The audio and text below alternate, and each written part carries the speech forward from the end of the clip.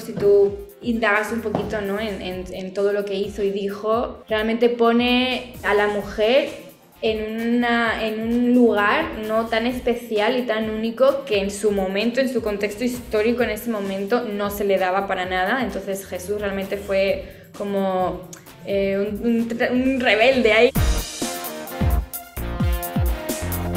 Hola, ¿qué tal? Bienvenidos. Esto es Real Talk, un podcast de Radio Transmundial desde el estudio de Radio Encuentro. Yo soy Mateus y aquí estamos una vez más con otro episodio de este podcast, conociendo a gente que nos eh, tiene cosas interesantes para contar.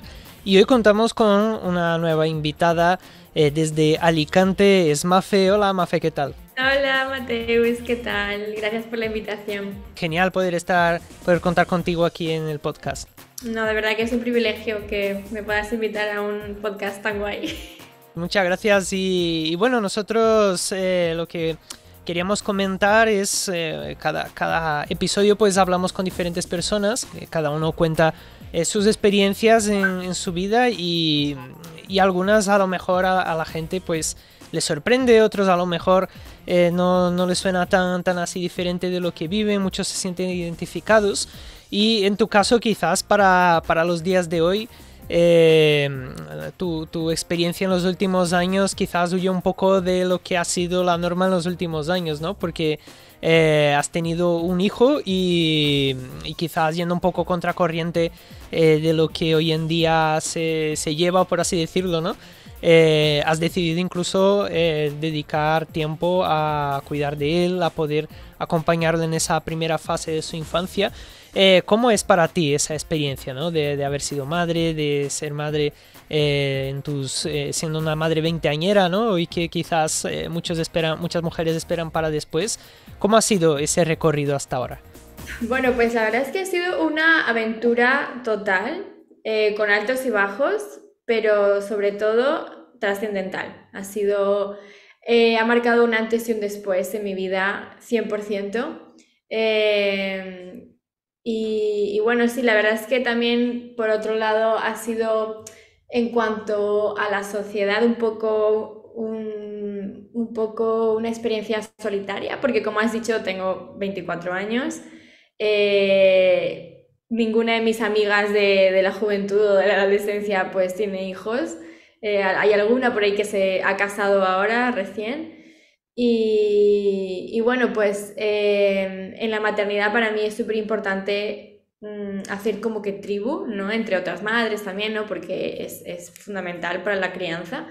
Y bueno, pues ha sido un poco solitario por ese lado, pero gracias a Dios eh, me ha apoyado mucho mi esposo, obviamente, de mi hermana, que también es madre, de mi madre. Y, gracias a, todo esto, gracias también a, Dios que me sostiene mm, como, piedra, como piedra en mi, en mi vida, pues está siendo una experiencia preciosa. Quizás hoy en día, eh, con, con, el contexto en el que vivimos, quizás hay algunos desafíos que son diferentes de los de antes, ¿no? Para ti, ¿cuál ha sido así uno de los desafíos más, más importantes que has enfrentado? Mm, te podría hablar de bastantes desafíos, ¿no? Pero yo creo que uno de ellos bueno, es un cliché, pero no deja de ser menos cierto, que es el no, no dormir o dormir poco, ¿no? Que eso pues poco se habla realmente, siempre como que te dicen, ay, prepárate para no dormir, lo que sea, ¿no? Pero, y yo siempre me había concienciado, vale, voy a dormir poco, pero no me había dado cuenta de lo difícil que era después enfrentarte a un día entero, sin haber dormido,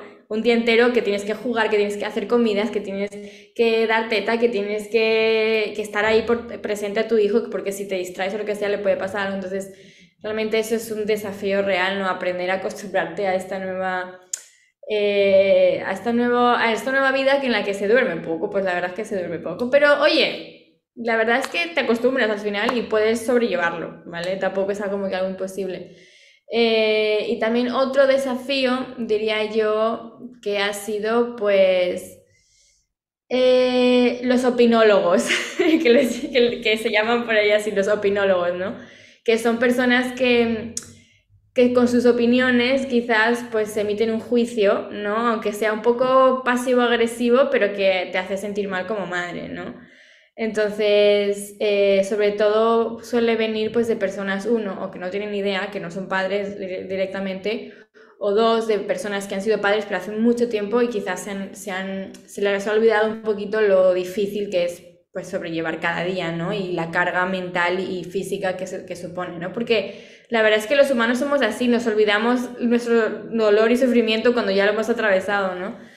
Entonces yo creo que eso también ha sido complicado y ha sido un desafío eh, que lo sigue siendo, ¿no? Em, y, bueno, y, también pues el desafío de, aterrizándolo un poquito, ¿no? Ya de, de, cada día, ¿no? De simplemente pensar, ¿qué hago hoy con mi hijo? no sé, una actividad o como el tiempo parece que no pasa a veces, ¿no? Y tienes que seguir haciendo cosas y distrayéndolo, ¿no? Y, y ya eh, para hacerlo un poquito más profundo también, desafío de, de estar bien, o sea, la verdad es que el, la sociedad no te alaba como madre, por decirlo así, no, no, no te, como que no ve tu, la importancia de lo que estás haciendo o no te, no te lo, no lo valora realmente, ¿vale? Entonces tienes que, que estar realmente, por lo menos en mi caso, ¿no? Que yo pues creo eh, fielmente en Dios y en el Evangelio, eh, en el que yo tengo que estar muy segura de que Jesús lo, está viendo y Jesús de alguna forma eh, lo va a recompensar, ¿no? En algún momento. Para mí eso pues también ha sido un, desafío, ¿no? Que darme cuenta que la gente pues no, no ve, ¿no? las cosas que estás haciendo, pero bueno, Dios lo ve, Jesús lo ve y para mí eso es suficiente. Y mencionabas, ¿no? El tema de que a lo mejor la sociedad no, no te apoya, ¿no? Y, hoy en día casi que se, incentiva como casi que una norma, ¿no? El primero hacer un montón de cosas y luego ya eh, pensar a lo mejor en, tener hijos. Eh, pero a lo mejor una cosa no quita la otra, ¿no? No está mal, eh, a lo mejor esperar más, pero tampoco está mal tener hijos antes. De hecho, eh, bueno, van pasando los años, las décadas y cada vez eh, los, los, padres tienen a sus hijos con mayor edad. Eh, pero como que hoy en día hay esa presión de que tienes que asentar un montón de otras cosas. Y, y, algunos incluso dicen, bueno, es que con la vida que llevo igual ni siquiera voy a, voy a pensar en tener hijos y, y, a lo mejor, no sé si has escuchado alguna crítica en ese sentido, ¿no? Alguien que quizás dijera, váyatela, ya tan joven y igual deberías esperar hasta los casi los 40, ¿no? Para, para ser madre. Primero, hazte una carrera, eh, sácate máster, doctorado, crece en tu empresa, abre un negocio y luego ya pensar en la familia. Para ti, ¿cómo, cómo es ese, e, e, esa dinámica, ¿no? Enfrentar ese tipo de, de, pensamiento que hay hoy en día. Ah, mira, a mí me da mucha rabia porque, porque tú no sabes las veces que a mí me, han dicho, pero tienes un hijo, pero ¿cuántos años tienes? Y yo, 24. ¡Qué joven! Madre mía. O sea, si eso le diéramos la vuelta y yo, por ejemplo, imagínate que yo a una madre de 36 años me dice que acaba de ser madre, yo le digo, ¡ay, qué vieja! Acabas de ser madre. Imagínate lo duro que sería para esa persona y para la sociedad, qué mal lo vería que yo dijera un comentario así, ¿no? Que es terrible. Pues yo le doy la vuelta y es lo mismo para mí. O sea, que a mí alguien me diga, ¡ay, pero qué joven! Como con desprecio, como, madre mía, todo lo que te has perdido. Es realmente algo que tenemos que dejar de normalizar totalmente, porque, o sea, eh, realmente incluso la ciencia avala de que el mejor periodo para la mujer en edad, la edad fértil para la mujer es de 25 a 30 años, o sea, y eso, que de 20, algunos te dicen 23, 20, ¿sabes? O sea, como que realmente, naturalmente, tu cuerpo, el mejor momento para ser madre es en tus 20, ¿vale? Y después incluso vienen ya incluso algunos riesgos y tal, entonces, realmente, pues sí, la verdad es que el mundo y la sociedad nos, nos, pone un poco difícil a las madres jóvenes en cuanto eh, pues, a la solvencia económica o lo que sea para ser madres, sí, pero si tú puedes, pues oye, ¿por qué no? Y además, realmente, Mateus, eh, yo antes tenía también este pensamiento de, jolín, es que para ser madre tienes que tener todo ya hecho básicamente en la vida, tus estudios. Tú tienes que tener eh, ya tu casa comprada, tienes que tener un montón de, de, de, ya como que estabilidad económica. Tienes Oye, cuando viene un niño, lo único que necesita es el cuerpo de la madre y el alimento que se lo puedes dar tú por medio de, tus pechos o, con fórmula, ¿vale? Pero realmente es lo único que necesita, o sea, no necesita todo lo que la sociedad viene y te, dice que necesita, que si una cuna que por allá, que si un montón de juguetes, que si la hamaca de no sé qué, que si... No, realmente yo caí en eso y compré un montón de cosas, me regalaron un montón de cosas así, no usé nada, porque lo único que necesita un bebé que Dios te da es a la madre y el apoyo del padre también. Entonces, realmente para eso no se necesita tener 3.000 euros al mes, no se necesita tener una carrera, no se no. Y yo, yo estoy estudiando ahora mismo y soy madre a tiempo completo, o sea, que sí se puede, sí se puede. Y una palabra que se usa mucho hoy en día y que de hecho, bueno, en, tus redes sociales has, comentado algo así, ¿no? Que es la palabra de eh, empoderamiento, ¿no? Y se habla mucho del empoderamiento femenino.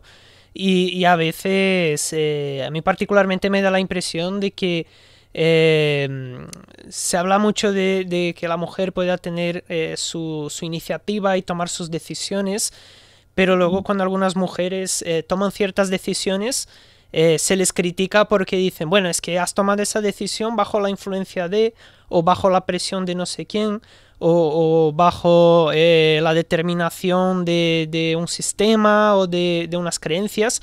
Y ahí viene cuando conectamos, y siempre lo hacemos aquí en, Real Talk, conectamos con el tema de la fe y, en tu caso eres cristiana, como has dicho, eh, seguidora de Jesús y, tienes fe en Dios y, no sé si a lo mejor alguna vez eh, alguien te ha, te ha, dicho algo en ese sentido, ¿no? Que a lo mejor, bueno, eh, das énfasis en la familia porque eres cristiana o a lo mejor has decidido tener un, un bebé más, siendo más joven porque tu religión te lo impone, ¿no? Hay gente que piensa que es así. Ah, pues sí, la verdad es que para qué mentirte, sí, eh, pero a mí me parece muy curioso porque yo diría que incluso en personas que hemos crecido como que desde pequeños con, en la iglesia, ¿no? Y todo eso, incluso yo creo que se da el fenómeno rebote, o sea, al contrario, yo he visto muchas...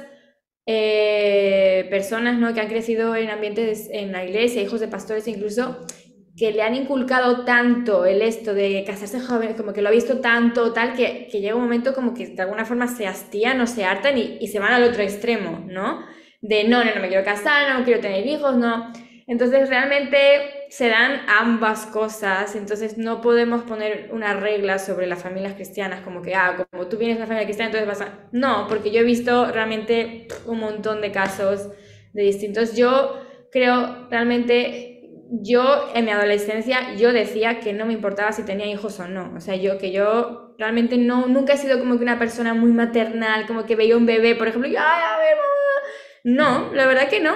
A mí lo que me puso el deseo y el anhelo en mi corazón de ser madre fue el amor hacia mi esposo y fue ver la familia tan preciosa que, que, podíamos crear, ¿no? Porque se fundamentaba en el amor a Cristo y en mi esposo, ¿no? Entonces, cuando tú amas tanto a, a, a tu, a tu esposo o tu esposa, es como que te nace un, un, un, deseo, ¿no? Que yo creo que lo pone Dios, que es, oye, pues formemos una familia, como que hagamos tangible este, este amor, ¿no? Que, que, que tenemos. Y, yo no creo que esté relacionado con, realmente con el cristianismo y no. Em, pero sí, he recibido, he recibido muchas, muchos comentarios así, ¿no? También he recibido comentarios como lo que comentabas antes, ¿no? De, personas que, que se dicen que son feministas, ¿no? Chicas que son feministas, pero mira, te cuento algo súper curioso que me pasó una vez que fue que yo eh, en mis historias eh, puse un, un vídeo de, de, mi hijo, de mi bebé, ¿no? Y puse eh, día de madre e hijo mientras papá juega al fútbol, ¿vale? Madre mía, la que lié, porque un montón de seguidoras cristianas me empezaron a decir, pero ¿cómo es posible que tú estés con el hijo y tu esposo esté jugando el fútbol? Como que te lo, te lo ha impuesto tu esposo, ¿sabes? Como que él está ahí divirtiéndote y tú ahí en tu casa con tu hijo como... Y yo de ahí saqué muchas conclusiones. Uno, la gente piensa que lo contrario de la diversión es quedarte en casa con tu hijo, ¿no? Y segundo, piensan que si yo estoy en mi casa es porque mi marido me lo ha impuesto y no porque yo lo he elegido libremente, ¿no? Y eso de verdad que a mí mm, me puso muy triste porque, porque realmente ahí me di cuenta como, oye, el feminismo, eh, por lo menos el feminismo con el que yo me he topado, ¿no? Eh, ve la maternidad realmente, no en discurso, pero realmente en hechos, ve la maternidad como lo contrario a ser una mujer empoderada. Y ver quedarte en casa como, lo, como que te lo han impuesto y no, no, no, existe para ellas mujer que pueda haber elegido eso desde el amor y desde la, el gozo y la paz. No.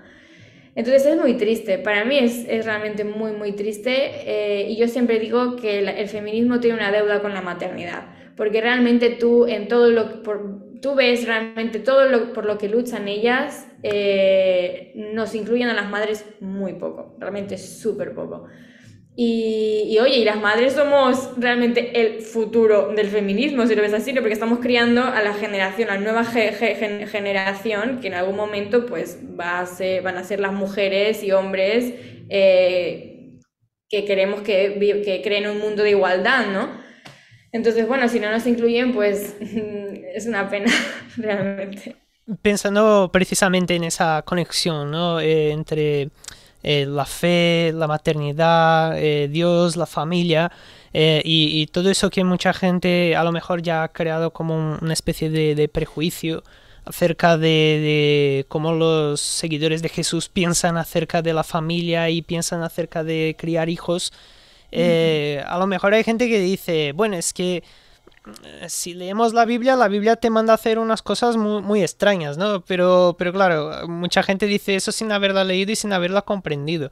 Y entonces te preguntaría, ¿no? ¿Qué es lo que realmente dice Dios acerca de la familia? ¿Qué es lo que, incluso extendiendo un poco más, qué es lo que dice Dios acerca, realmente acerca de la mujer? Bueno, realmente Jesús en todo momento, si tú indagas un poquito ¿no? en, en, todo lo que hizo y dijo, pues eh, realmente pone eh, a la mujer en, una, en un lugar no tan especial y tan único que en su momento, en su contexto histórico, en ese momento no se le daba para nada. Entonces Jesús realmente fue como... Eh, un, rebelde ahí, ¿no? Porque realmente él sí puso en un lugar muy, muy, muy, muy precioso, ¿no? A la mujer y en cuanto a la familia, bueno, nosotros vemos en la Biblia que desde el principio, ¿no? Dios nos mandó a, casarnos y a procrear, ¿no? A llenar la tierra, fructificarla, ¿no? Entonces, eh, yo creo que eso no es simplemente como que un mandato como haz esto y punto, sino que va mucho más en profundidad con lo que te comentaba antes, ¿no? Cuando tú amas mucho a alguien, es como que es un, es un, un deseo casi instintivo el querer como que procrear y, que luego se ve un poco nublado por, bueno, pues por la sociedad en la que vivimos, por tantas cosas que nos han metido la cabeza, ¿no? Como que un poco yo creo que nos, mm, nos nublan ese, ese instinto, ¿no? Pero, pero realmente yo creo que Dios lo ha, lo ha puesto ahí desde el, desde el comienzo. Y, y bueno, realmente eh, yo me estoy leyendo un libro que se llama Maternidad Redimida, que me parece un librazo, porque más que hablar como que eh, sobre puntualmente lo que dice la Biblia sobre la mujer y, encontrar como que a ver qué dice la Biblia sobre la maternidad, a ver si encontramos un, un versiculito que podamos, no, más bien eh, incluye el Evangelio, la profundidad del Evangelio dentro de la maternidad. O sea, como que no excluye el Evangelio y, la, y, la, y lo transgresor que es, ¿no? Y, lo trascendental que es, no lo excluye de la maternidad, lo incluye en la maternidad, ¿no? No va buscando como que cosas puntuales que incluir de la Biblia, no que incluir en tu paternidad, no, no, no, sino, oye, Jesús vino a dar esta buena noticia, a darnos salvación, este gran mensaje realmente también es para las madres, también es cuando estamos cambiando un pañal, también es cuando estamos lavando eh, los platos, ¿sabes? Como que... Eh, y me encanta, me encanta, me encanta, me encanta porque, porque realmente lo que te decía antes, ¿no? Tú te das cuenta que las madres, por más ordinarios que sean nuestras tareas del, del día a día, realmente si las vivimos como Jesús nos mandó a vivirlas, se vuelven extraordinarias, ¿no? Y, eso es algo que, que, me encanta, que me encanta de Jesús, ¿no? Que Él, incluso todo lo que ordinario que hizo, lo vivió de tal forma que lo hizo extraordinario, ¿no? Y nosotras también las madres podemos hacer eso, ¿no? Yo creo que Jesús también nos invita a hacer eso, no solo a las madres, a todo el mundo, pero las madres también estamos dentro, ¿no? Y, y bueno, ¿no? Yo creo que yo creo que la Biblia hace eso, ¿no? Un poco en cuanto a la maternidad, pues mm, el Evangelio se mete en la maternidad de lleno, como en cualquier otro, otro lugar de tu vida, ¿no? En cualquier otra área de tu vida. Pues muchas gracias, Mafe, por, por estar con nosotros. Ya nos vamos acercando al final de, de, este episodio. Y antes de despedirnos, quería preguntarte, mm, para alguien que quiere seguirte en las redes sociales, ¿dónde te puede encontrar? ¿Cómo te puede buscar allí? Eh, bueno, pues eh, yo tengo un canal de YouTube eh, y que se llama Mafe Romay y mi Instagram también es Mafe Romay. Mafe, muchas gracias una vez más por haber estado con nosotros y, mucho ánimo con esa, con esa etapa de, cuidar eh, de, tu hijo, de, la maternidad y ánimo también con los estudios y todos los demás proyectos que tienes. Muchas gracias, Mateo. Ha sido un privilegio poder estar aquí. Gracias también a ti que nos sigues, que nos escuchas en diferentes plataformas de podcast o que quizás nos ves en YouTube. Eh, ya lo sabes, esto es Real Talk, nos puedes seguir en diferentes redes sociales y mm, estamos también abiertos a, recibir tus preguntas, tus comentarios, tus sugerencias y te contestaremos, así que no lo dudes, eh, ahí estaremos para, para poder hablar contigo. Así que muchas gracias y te esperamos en el próximo episodio. Hasta la próxima.